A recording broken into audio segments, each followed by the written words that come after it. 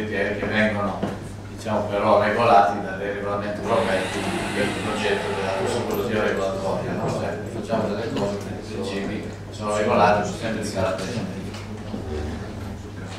Tra queste attività che presentiamo oggi eh, ci sono questi due aspetti, uno della valutazione del rischio ambientale dei farmaci e il secondo delle valutazioni di EOM che spiegherà il mio collega come vedete sono due presentazioni che si basano essenzialmente sui concetti di pericolosità delle sostanze, no? per arrivare poi ai, ai principi delle valutazioni del rischio. Allora, io vi parlo di questo discorso dell'environmental risk assessment degli abiti, no? um.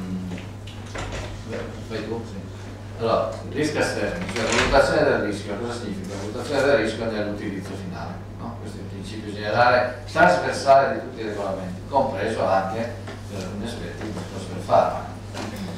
Qui parliamo ovviamente di, di, di rischio ambientale di principi attivi. Perché? Perché storicamente questo concetto qui deriva e viene già applicato in altri regolamenti, come vedete da questo slide, nei fitosanitari, nei biocidi, nei farmaci d'uso veterinario, in tutti gli industrial chemicals, quelli che sono diciamo, coperti dal regolamento REACH, no? tutte le sostanze chimiche, i cosmetici detergenti, detergenti e non per ultimi i farmaci ad uso umano. Andiamo avanti.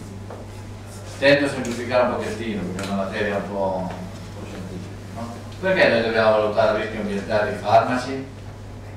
Dice, cosa c'entra? Dobbiamo, dobbiamo, valutare i rischi sulla salute dei farmaci, no? come viene fatto storicamente. Ma lo dobbiamo fare perché? Perché già fin dagli anni 90 si era visto che ovviamente i farmaci possono venire rilasciati nell'ambiente dopo il nostro utilizzo, quindi come molecole codificate, come metabolita e, nel, nell'ambiente stesso possono essere degradati, quindi trasformarsi in qualcos'altro, in qualche altra sostanza che possono avere delle, delle capacità di rischio. No?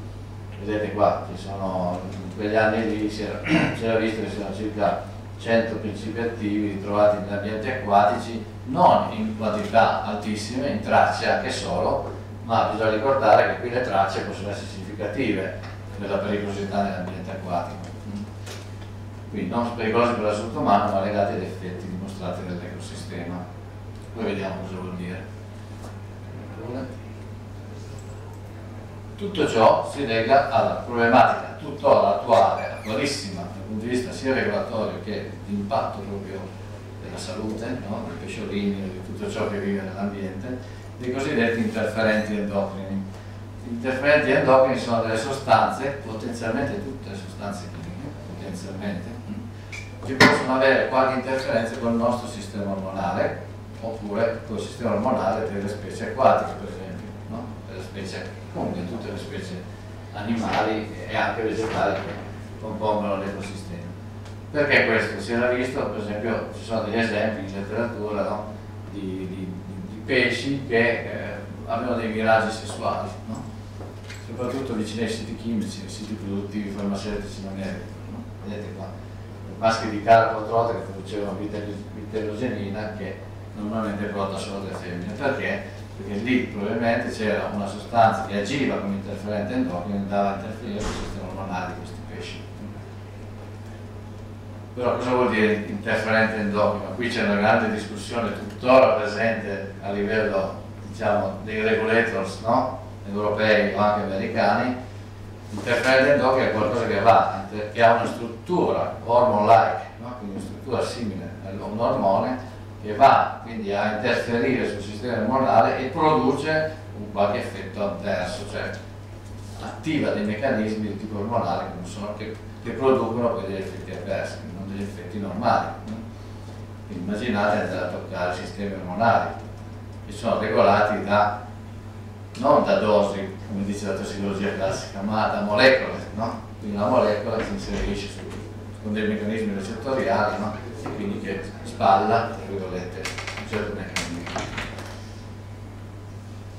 Immaginate ciò che rilasciamo, no? ciò che le donne rilasciano nell'ambiente, le donne che prendono pillole anticoncezionali, che tipo di rilascio nell'ambiente possono avere, no? Ormai è diffuso questo tipo di uso, quindi cioè queste sostanze vanno nell'ambiente. Cosa fanno? Possono agire come interferenti endocrini? Certo, possono agire. No, perché il farmaco, dicevamo prima, no? il farmaco storicamente arriva molto in ritardo rispetto al, al prodotto chimico sul discorso del, del, del, del rischio ambientale.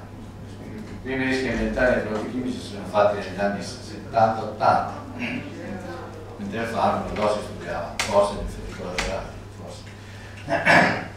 ok, il farmaco quindi viene somministrato, agisce nell'organismo, no? viene escreto, va nei reflui, va nell'impianto di trattamento delle acque, può essere soggetto a scarsa bidegradazione, quindi essere immodificato entrare nell'ambiente come tale o no, quindi il discorso eh, della, della, molecola immodificata e può essere rilasciato dove? Nelle acque, essenzialmente nelle acque superficiali oppure anche nei sedimenti.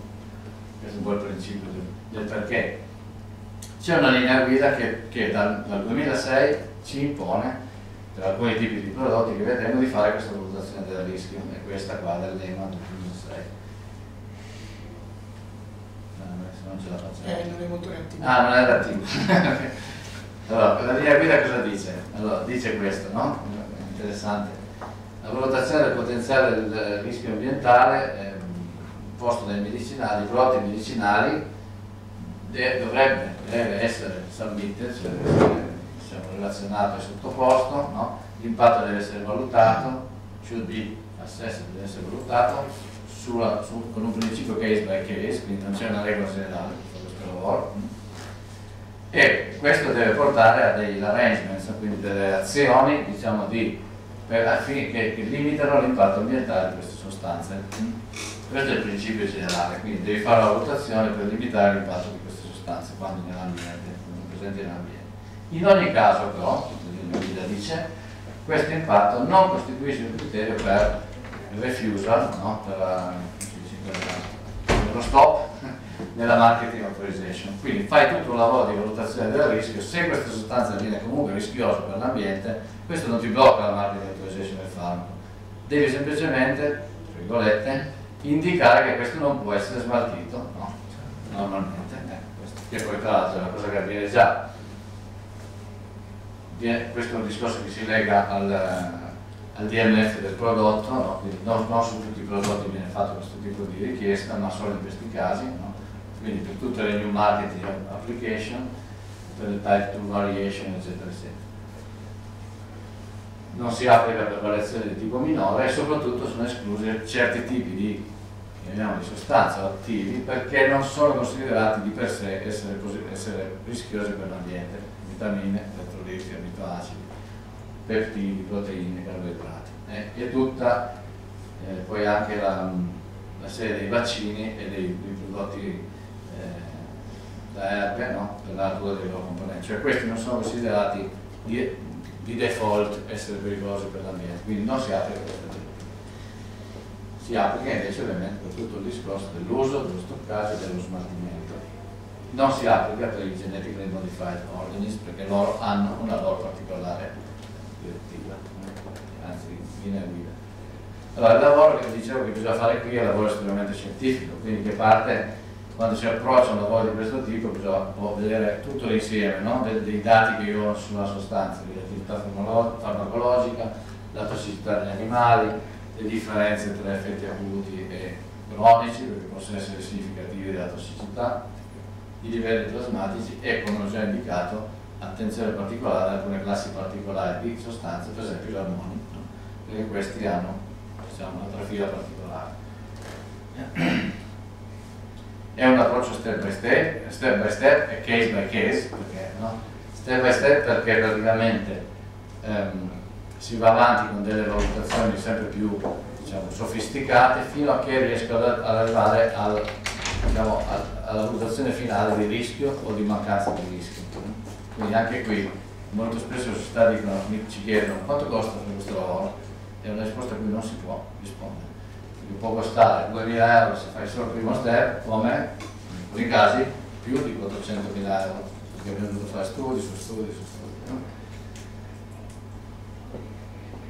Questo è un po' velocemente cosa dice la linea guida, non entriamo, non entriamo troppo nel tecnico, però per dirvi che diciamo, fanno delle fasi diverse, una prima fase è la cosiddetta stima dell'esposizione ambientale, molto limitata, le fasi 2A Tire A e Tire B, vedete, sono veramente delle predizioni del rischio che si fanno in base anche a degli studi ecotossicologici proprio sperimentali che si fanno, quindi una vera e propria valutazione del rischio.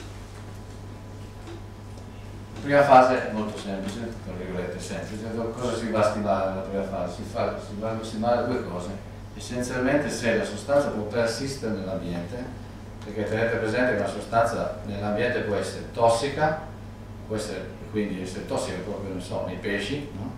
per un carattere di tossicità come tossicità acute nell'uomo, no? oppure persistere, cioè stare in un, certo, in un certo comparto ambientale, oppure essere bioaccumulabile, cioè rimanere nella prima catena della, per esempio della catena alimentare no? e poi biomagnificare, per arrivare sempre accumularsi nelle varie specie animali realtà, in realtà per arrivare anche all'uomo, no? quindi nell'uomo diciamo, la, la, concentrazione iniziale è molto più alta, si biomagnifica e poi il calcolo della PEC.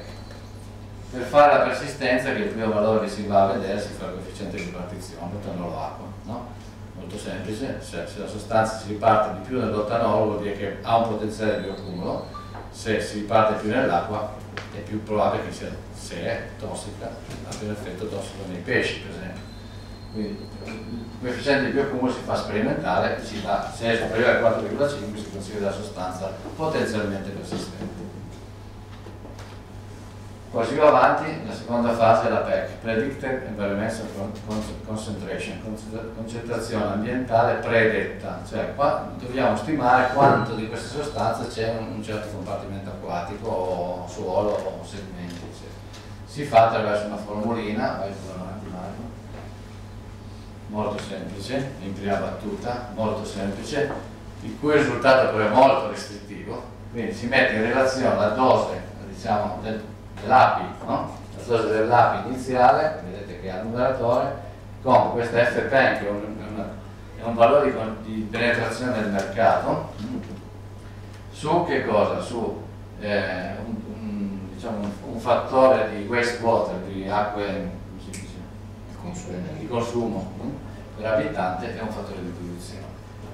No? Io calcolo queste cose qua. Il valore che viene fuori da queste cose qua va? Se inferiore a 0,01 microgrammi litro, prima parlavamo il dottore di impurezze, ma questo qui è molto peggio, molto peggio. Quindi se la mia PEC calcolata è inferiore a 0,01 microgrammi litro, la linea guida mi dice che io non ho effetti di rischio nell'ambiente, mi fermo lì. Quindi qua spendo 2-3 euro per fare un dossierino, no? esempio criptografico, eccetera. Se invece la mia PEC calcolata è superiore a 0,01 all'inizio devo andare avanti con la valutazione e fare altri test. Perché devo andare a fare un vero e proprio risk assessment.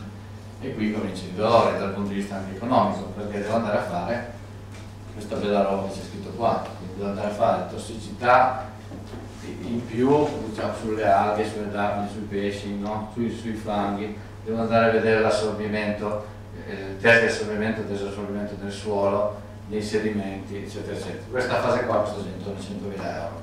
Ma perché devo andare a fare i test?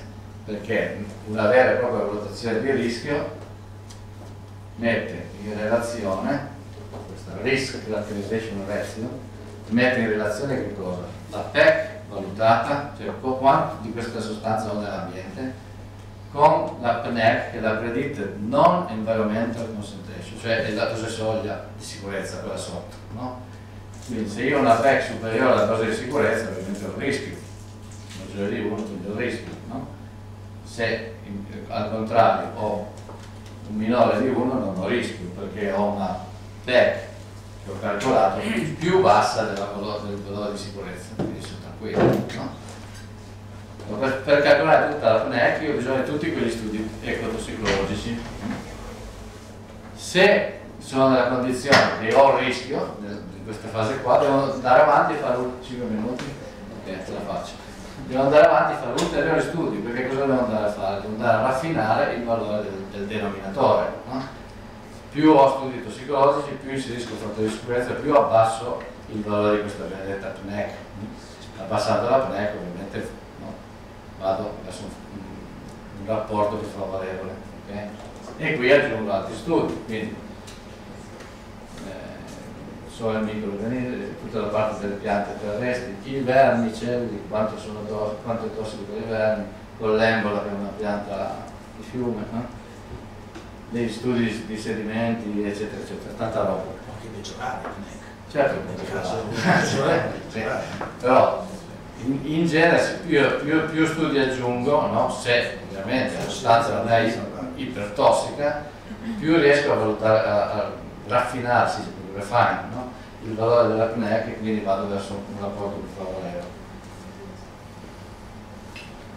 In questa fase qua posso anche revisionare la PEC, cioè la predicted environmental concentration con calcoli, con altre cose non so spiegare, per esempio con l'ora di biodegradazione, per abbassare, eccetera.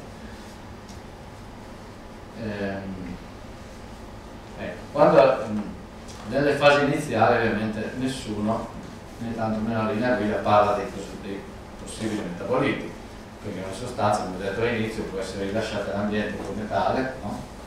mother compound, modello modificato oppure sui metaboliti.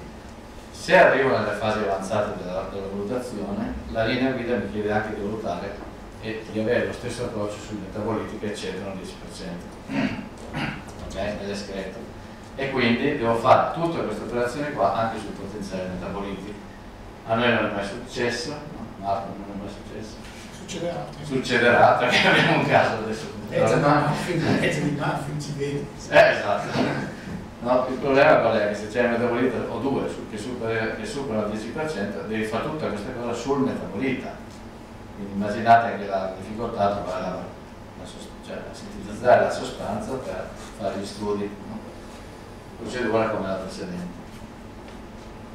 Ovviamente se non posso escludere, dopo tutta questa valutazione non posso escludere il rischio, devo scrivere questa cosa sull'SPC, sul Summary Product Characteristic, e in realtà tutto ciò tende a imporre il divieto di disperdere il prodotto nell'ambiente. No? Okay? Allora, qui si aprono una marea di considerazioni non, di cui non entro nel merito adesso. Eh, perché in realtà le aziende dicono per fare tutto questo lavoro spendere tutti questi soldi per semplicemente dire non disperdere l'ambiente allora lo scrivo subito. Eh no, l'autorità non è d'accordo.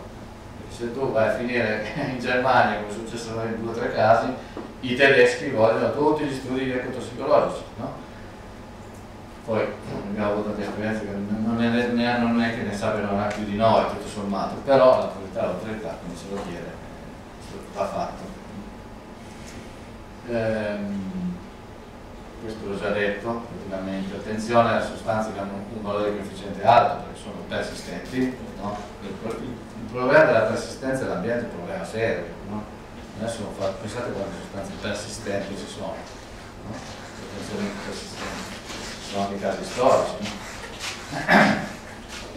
ehm, ecco poi dopo questa linea guida qui vado proprio veloce perché sennò più difficile, sono, eh, sono uscite due, eh, due, documenti question and answer, una nel 2010 e una nel 2011, che hanno definito alcuni aspetti anche della sperimentazione. No?